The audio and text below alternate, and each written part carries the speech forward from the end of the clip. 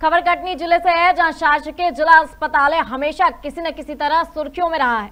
और इसी बात का जीता जागता मिसाल सामने आया है, जिसे देखकर आप सहज अंदाज़ा लगा सकते हैं कि शासकीय जिला अस्पताल में मरीजों के साथ लगातार खिलवाड़ हो रहा है। आपको बता दें कि देवरी गाँव से मरीज़ रामकिशन यादव जिला अस्पताल में हाथ के पंजे और कलाई में सूजन और दर्द का इलाज करवाने आए थे, लेकिन यहाँ डॉक्टर ने मरीज़ के कंधे का एक्सरे करा दिया। बात यहीं तक नहीं है उससे बड़ी लापरवाही यह है कि मरीज़ को कंधे में प्लास्टर बांधकर वहाँ से रवाना भी कर दिया गया है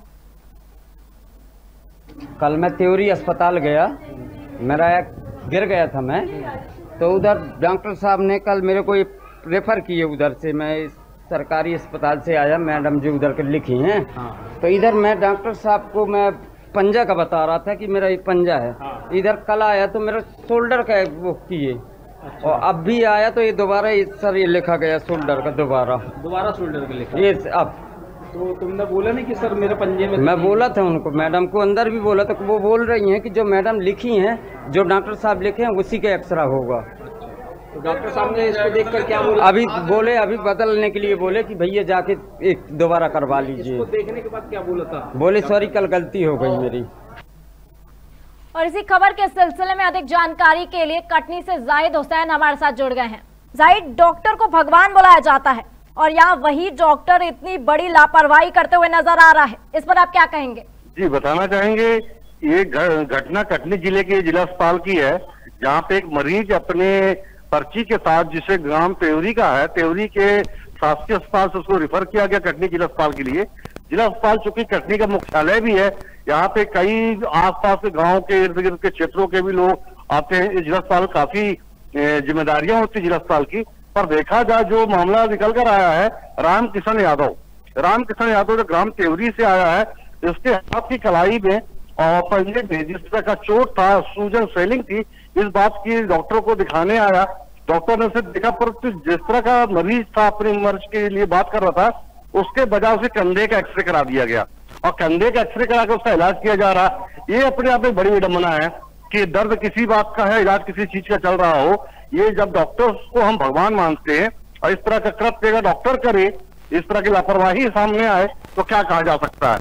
ये अपने आप में एक बड़ी ताजुब वाली बात है कि जिला अस्पताल का एक डॉक्टर जिसका दर्द जहाँ पे हो, उसके बजाय उसके कंधे का इलाज करा देता है एक्सरे करा देता है। उसके बाद भी अपनी गलती को भी मान लेता है। और फिर कहता है कि आप किसी से चर्चा मत करिएगा। इस तरह की एक बड़ी घटना सामने जो देखने को मिली है। ये बहुत अपने आप में लापरवाही कही जा सकती है। जी जी जहाँ तक अगर जिला अस्पताल की बात करें जिला अस्पताल हमेशा सुर्खियों में रहा है विवादों में रहा है। बात आज इसकी नहीं है। इसके पहले भी कई घटना ऐसी घट चुकी है जिसके मामले में संज्ञान लिया है कलेक्टर ने। कलेक्टर ने यहाँ के व्यवस्थाओं जो प्रबंधक है उनको नोटिस भी जारी किया था कई पूर्व घटनाओं पर। जवाब भी मांगा। यानी कि तमाम चीज़ों से अवगत है जिला प्रशासन उसके बावजूद ये घटनाएँ निरंतर चल रही है और कहीं भी रुकने का नाम नहीं ले रही। ये अपने आप में बहुत बड़ी बात कही जा सकती है जिला अस्पतालों को सवाली निशान खड़ा करता है। जी। जाहिद हमें ये बताइए कि इसके बाद जिस डॉक्टर ने ये किया था उस पर अभी तक कोई कार्रवाई की गई है? क्या प्रशासन ने उसके खिलाफ कोई कदम उठाया है अब? अभी इस घटना को घटे मात्र अभी एक दिन हुए हैं चूँकि आज एक शासकीय औकात भी है। इस तरह से देखा जा सकता है कि अभी जो भी होगा कार्रवाई सोमवार की बात कही जा सकती है। क्योंकि इसमें अधिकारियों ने संज्ञान लिया हुआ है और कह सकते हैं कि अभी संबंधित अधिकारियों से बात करने की कोशिश की गई तो चूँकि अवकाश में सारे कार्यालय बंद है, अभी किसी से बात नहीं हो पाई, पर जहाँ तक ये पर्ची दिख रही है और मरीज़ दिख रहा है, ये तमाम चीज़ों को लेकर अगर बात करें तो लापरवाही तो स्पष्ट सामने नज़र आ रही है कि एक्सरे उसका कहीं का होता है और मरीज़ की अपनी तकलीफ़ कहीं और बता रहा होता। है इस तरह के तमाम चीज़ों को देख के इस नजरअंदाज नहीं किया जा सकता कि मरीज़ अपनी ही खुद बेहाली पे रो रहा है कह रहा है, और उस बात का भी दर्द का भी एहसास है कि मुझे जिस बात की तकलीफ़ थी, उस तकलीफ़ का इलाज नहीं किया गया, और कंधे का एक्सरे करा दिया गया। ये तमाम चीज़ों से कहीं ना कहीं मरीज़ जो पीड़ित है व्यथा को लेके दुखी भी है। जी जायद हमें उम्मीद है कि हमारे चैनल के माध्यम से प्रशासन को इस बात की खबर है। हमारे साथ जुड़ने के लिए बहुत बहुत धन्यवाद।